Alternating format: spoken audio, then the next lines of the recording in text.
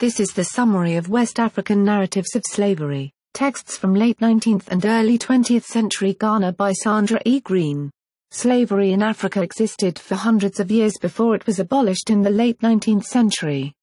Yet, we know little about how enslaved individuals, especially those who never left Africa, talked about their experiences.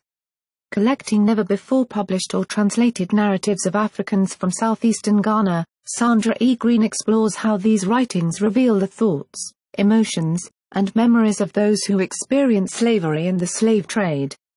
Greene considers how local norms and the circumstances behind the recording of the narratives influence their content and impact.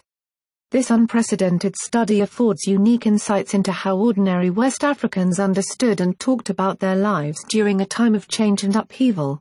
For more history books and book reviews visit www.historybookmix.com.